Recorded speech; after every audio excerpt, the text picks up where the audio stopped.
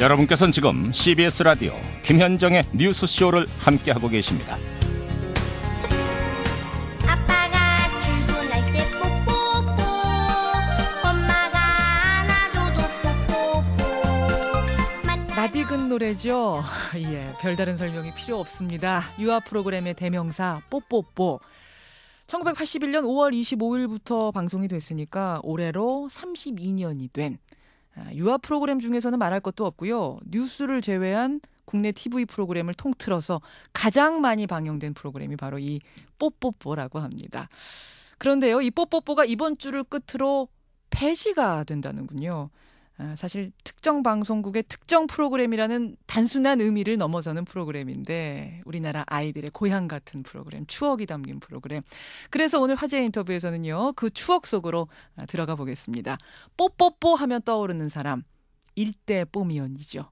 왕영은 씨 연결이 되어 있습니다. 아, 뽀미 언니 안녕하세요. 안녕하세요. 뽀뽀뽀 친구들 안녕하세요. 아직도 어울리세요. 그 인사가. 네. 어, 천회 가까이 1회부터 천회 다 되도록 제가 진행을 했으니까요. 그렇죠, 그렇죠. 네.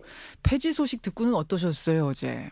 많이 서운했죠. 음흠. 저는 뭐 개인적으로 그래도 여전히 뽀뽀뽀가 있다는 게 뭔가 든든함이 있었나 봐요. 아하, 갑자기 그 뉴스를 접하고 너무 허탈하고 허탈하고. 아쉽고 그랬는데 어제 굉장히 많은 분들이 너무 서운하다고 아, 그리고 많이 문자를 보내주셨어요. 그래요. 그 떠나신 거는 이게 지금 얼마나 된 거죠? 81년에 시작해서 몇 회 하신 거예요? 그러니까 횟수로 4년을 4년. 했네요. 예, 그렇게 떠난 지 오래 됐는데도 뽀미언이란 타이틀이 지금도 따라다니나요? 물론이죠. 물론. 그러니까 오히려 저는 한때는 그게 그렇게 반갑지만은 않았어요. 왜냐하면 음, 뽀뽀뽀를 제외하고도 뭐 젊음의 행진이라는 프로그램, 예. 뭐 오늘 전국은 지금 예. 뭐 이런 굉장히 굵직굵직한 프로그램을 진행했음에도 불구하고 음. 어떤 특정 가수를 얘기할 때 특정한 노래 한 곡만 팍 이렇게 각인이 된 맞아요. 것처럼 맞아요. 지금 나이가 몇인데 아직도 뽀미 언니라 그러니까 물론 감사하지만 예, 예. 한편으로는 어머 그것만 있는 게 아닌데 뭐 이런 음. 살짝 아쉬움도 있었지만 예, 예. 오히려 시간이 흐르면서 많은 분들 그 기억에 남아 있을 수 있다는 게 얼마나 감사한 일이고 예. 얼마나 소중한 추억인가라는 걸 생각하면 예. 뭐 저한테는 최고의 프로그램이죠. 그렇죠. 그리고 사실은 지금 이제 말씀하시면서 특정 가수의 특정 노래 하나만 기억되는. 그러니까 말하자면 이용 씨 하면 잊혀진 계절, 그렇죠. 김민희 씨 하면 똑순이란 말이 계속 따라다니는 게 네네네. 싫었다고 그렇네요. 하듯이 네네. 그런 시절도 있었지만 지금은 친정 같은. 돌아보면 음. 너무나 감사한 프로그램이고 예. 사실 예. 중간에 뽀뽀뽀가 폐지가 됐던 적이 있어요. 맞아요, 맞아요. 제 기억으로 잠깐 폐지가 됐다가 예. 많은 그 부모님들의 요청도 그랬고 예. 그리고 사실은 가장 상징적이고 좋은 타이틀이기 때문에 제 생각엔 그래요. 지금은 물론 아쉽지만 음. 세월이 또 흐르다 보면 또다시 그 타이틀로 뽀뽀뽀라는 프로그램이 만들어지지 않을까라는 어. 저는 막연한 기대감 예, 뭐 예. 이런 것들도 있어요. 사실은 조금 다시 뽀뽀뽀가 그런 이상적인 포맷으로 탄생을 한다면 재탄생을 한다면 네. 그때 다시 한번 뽀미 언니 맡아보실 생각은 없으세요?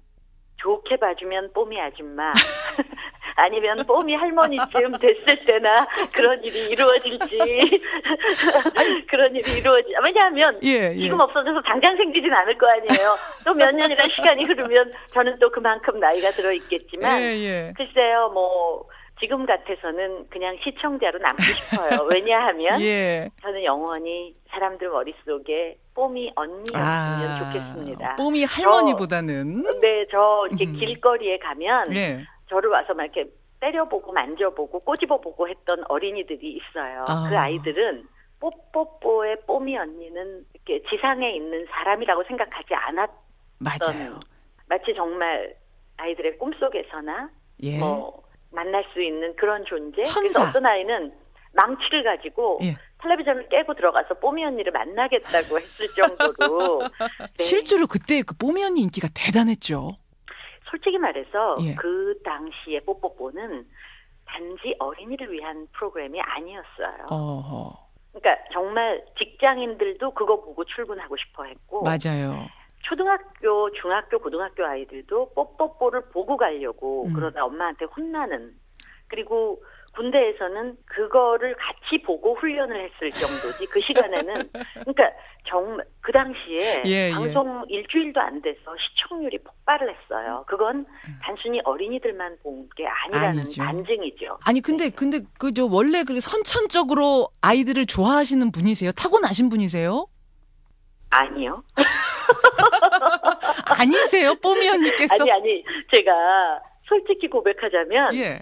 저는 이렇게 막 아이들을 막 원래 좋아하고 아이들만 보면 막 데리고 놀고 싶고 이런 게 아니었어요. 아니 아니셨어요? 아니었어요. 어머나. 그랬는데 뽀뽀뽀를 진행하면서 아이들을 예뻐하게 됐어요. 어. 그런데 제 이후에 진행을 했던 후배들 몇몇하고 이렇게 얘기를 해보니까 예, 예. 자기들은 아이를 되게 좋아했는데 음. 진행하다 보니까 아주 진저리가 나고 왜 그게, 그게 정상입니다. 그게. 아이들이 케어가 안 되잖아요. 맞아요, 맞아요. 정말 힘들잖아요. 예, 그러니까 예. 그게 너무 힘들어서 지쳐서 예. 당해내지를 못해서 나중엔 막 아이들이라면 학을 때는 이런 후배들도 몇몇 있었어요. 예, 예. 그런데 저는 애였어요. 야. 시작할 때 예. 저도 애였기 때문에 예, 예. 이게 무슨 애한테 애들 몇십 명을 맡겨놓고 그거를 뭐 일주일치를 한꺼번에 놓고 하는데 하루 종일 애들 속에서 예. 방송 딱 들어가면 저 하나가 아이들 뭐 스물 몇 명 뭐 한꺼번에 다 관리를 하고 그렇죠. 걔네들을 조용히 시키고 같이 노래도 부르고 그러니까 지금 생각해 보면 예. 저 스스로 어릴 적 왕영은이 기특해요. 기특할 너 정도로. 어떻게 했니 그걸? 아니 그게 몇 살이셨죠 그때 그러니까? 어렸죠. 그때 뭐 스물세 살 스물셋 세상에 그런 나이에. 아니 그 기, 나이로. 기억나는 추억 뭐 어떤 거 있으세요 그 에피소드? 아이들 스무 명 데리고 그 아가씨가 속상해서 울기도 하고. 울기도 하고. 음, 그럼요. 애들하고 싸우기도 하고. 그때 나는 혼냈다고 생각했는데 지금 생각해 보면 싸운 거죠. 오늘 참 뽀미 언니의 비밀 여러 개 밝혀집니다. 야, 너 그럴 수가 있어? 뭐 이러고 조용히 해야지. 막 이러고 끝나고.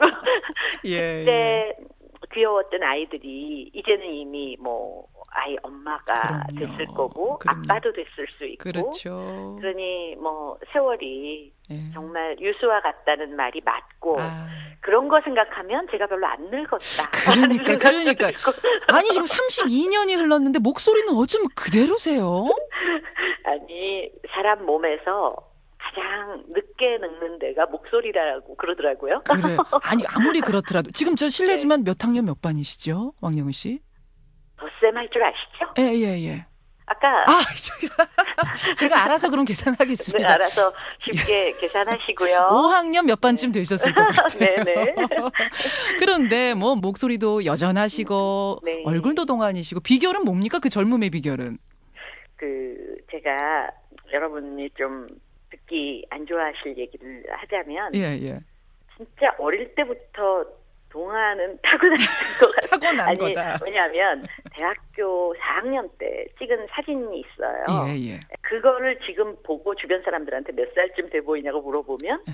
초등학생 사진인 줄 알아요. 대학교 때 사진을. 물론 지금은 뭐 세월을 어떻게 속이겠어요. 친구들이 이따금 어머 너도 늙는구나 뭐 이런 얘기하면. 그러니까 왜 늙지 않겠어요. 많은 어, 제가 좀 타고난 게 좀 긍정적이고요. 처져 있는 걸 스스로 못 견뎌 해요. 그러니까요. 방방방방 뛰어다니는 그런 체질로 타고난 게 아닌가 싶고 주변을 환하게 만드는 재주가 있는 분이세요, 왕영은 씨. 여전하십니다. 감사합니다.